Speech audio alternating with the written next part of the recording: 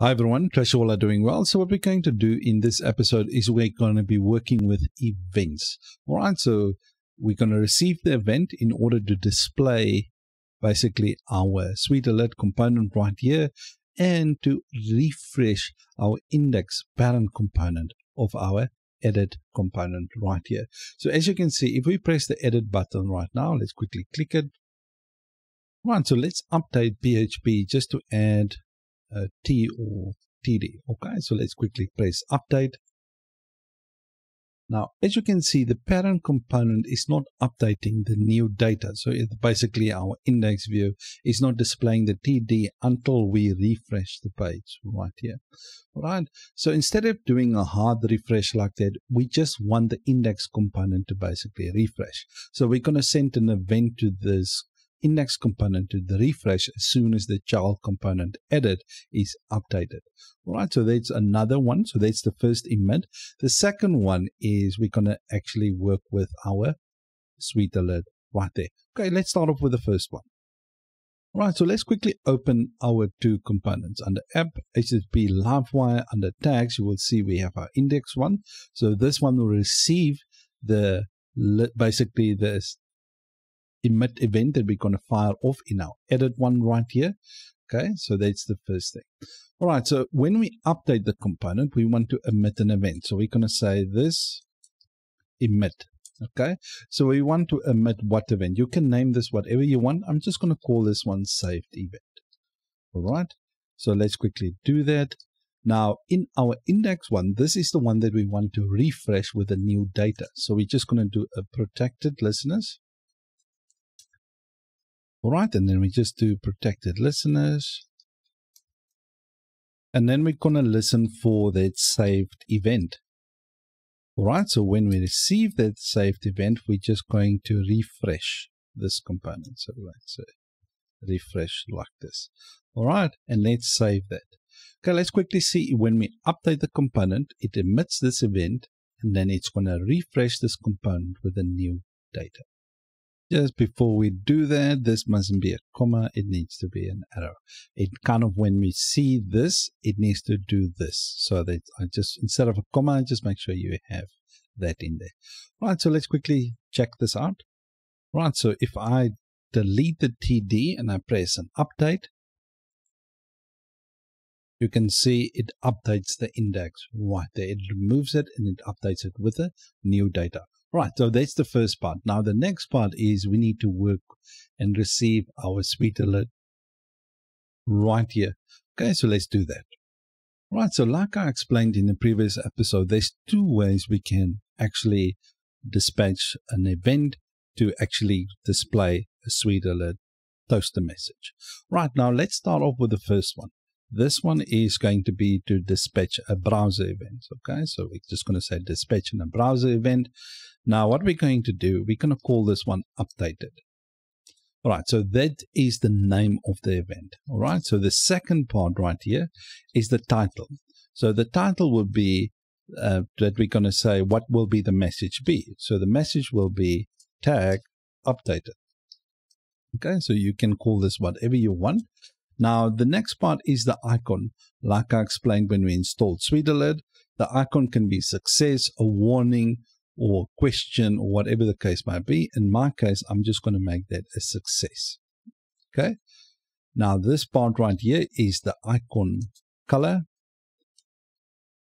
And we're going to set that to be a green color. Okay, so just like this. Right, for those that might be new, the icon that I just wanted to show you, the success, have a little tick right there, an error, have this, a warning, have an exclamation, info, that, and a question, this. So you can obviously decide however you want to do this. I will leave a link in the description for you guys to go and click to go and read more about this. All right, so this is the first part of our dispatch. All right, so now we need to listen for that. And we're not going to listen in the component. We're going to actually go to the view right here. In the previous episode, we had pushed the scripts basically to our layout. So under layout, guest layout, we receive it under stack scripts right here. Now we need to basically listen for that event.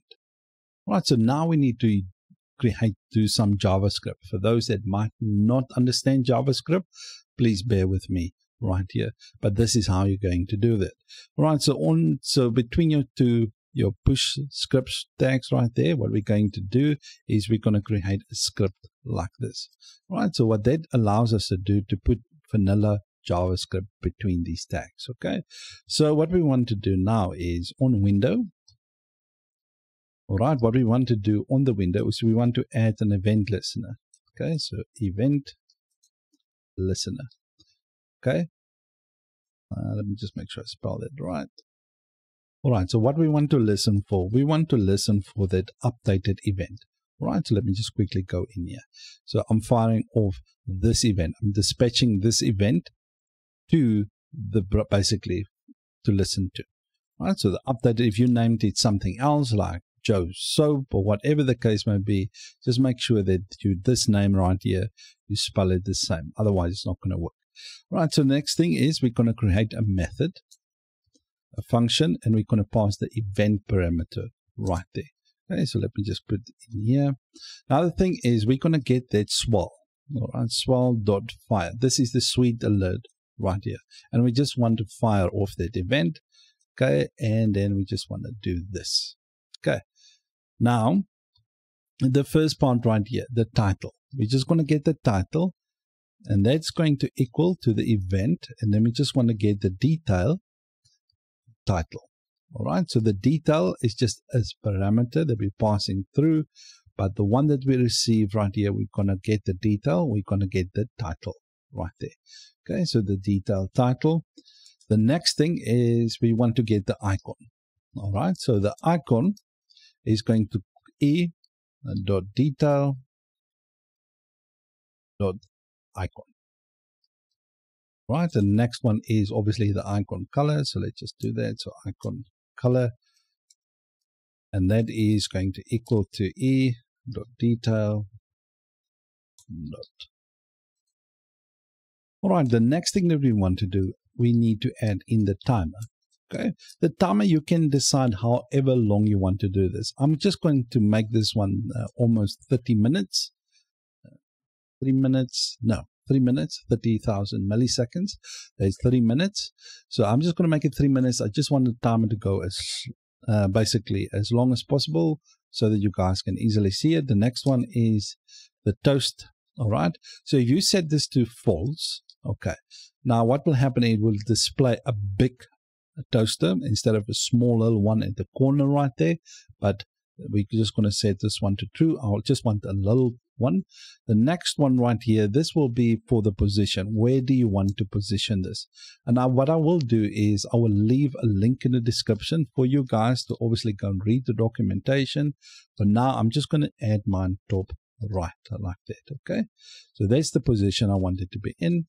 The next one is I just want a time timer progress bar. So timer progress bar, and I'm just going to set that to true. And the last one right here, this will be show confirmation button. So confirm button, and I'm just going to set that to false. I don't want a confirmation button, so I'm just going to set it to false. And just like this. All right, so that's the first part. So that's how we can dispatch an event. Let's see if this work. All right, so I'm just going to add double D's, triple D's. All right, so as you guys can see, I've got a little message right there, tag updated, and that will stay a while like that because I'm saying for three minutes. But obviously by default, you will change it to be only three seconds. So I'm just going to delete this D's again. So let me just remove that. Right, so as you can see, tag updated right there. Awesome stuff. Right, so this is the one way to do it. Obviously with the browser, okay? Now let me just comment this one out, actually just cut it out. The next way to do it is obviously with the emitter event. So I'm just gonna copy this out. So let me just, the next one is if we dispatch uh, emit event, all right? And we're gonna call this one update did as well and I just want to pass in the same parameters to that component. So let me just do the event. So let me just copy this and paste it in there. All right, now the difference will be now we will have we still use the same script tags, okay, just like that. But now what we do is we say livewire dot on, okay, so on what?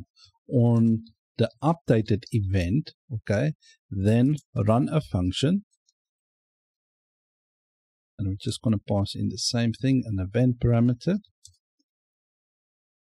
Okay, and then we're just going to say swal, sweet alert basically, swal.fire. So if anyone is new and wonder where I get the swal from, so if we go to our resources, JS, app.js, you can see I'm referring to this swal right here, this one. Okay. So let's go back, swal.fire. Then we just want to fire off this. Now the thing is, we're not going to do it the same way. Let me just actually put this on top right there. Just cut this out quickly. All right, so I, this is the browser one. I just changed it back to three seconds. Top right, everything is still true like that. Okay, now the thing is, this one is for the emit event, this one that we're listening to, not the browser event. Okay, now in here, in, remember here we're using the detail right there.